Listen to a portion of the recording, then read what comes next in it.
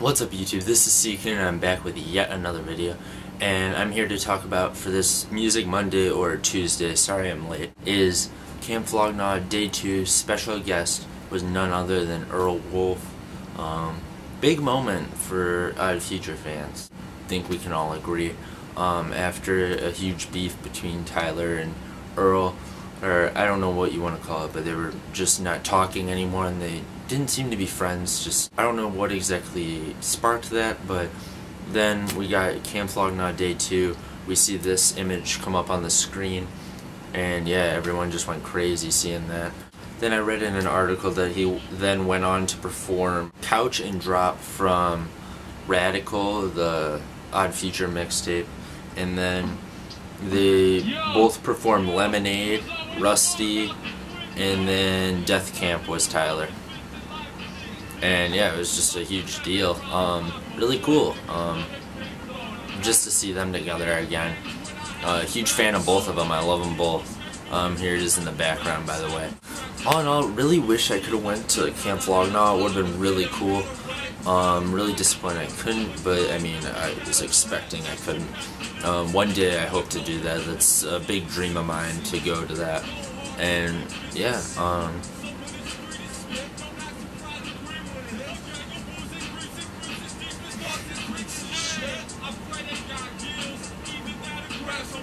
What does this mean now, though?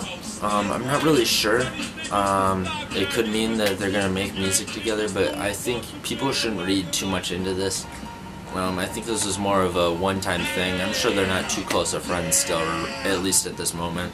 Um, there's probably still a little tension, but I can tell this is going forward for them. And hopefully, who knows, hopefully they'll make music again together.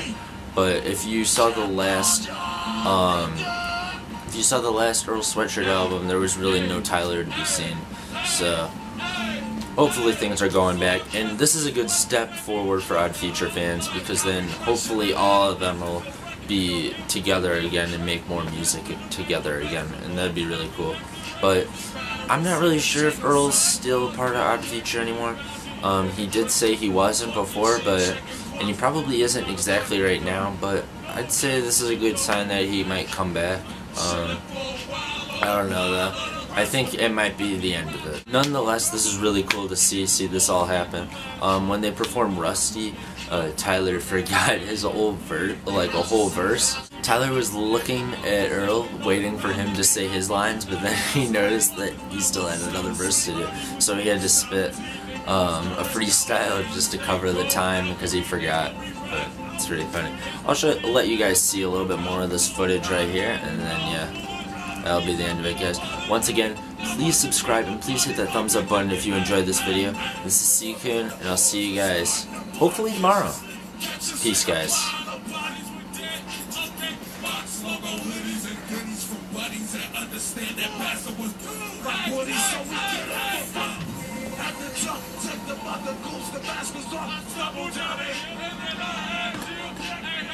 My chick with Taylor Swift is in my Cause I've been doing this since I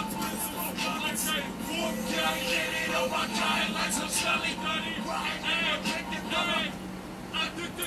Do not give a fuck, I got the swagger of a virgin. But if I did, it would be bigger than Earl's I sell scissors off like a I munch a bunch of tacos with my really favorite.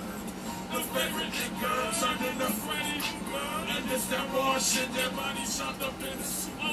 From the bar to Jeffrey Dahmer, baby mama said the kids beat like the brown lip balm that was made for Rihanna. All you fucking wealthy faggots acting up that extra shit. I shove past it now you don't regurgitate my instrument. Them two dope boys, fairies that beat it like boys and berries. Make scary, turn white ass to a jet.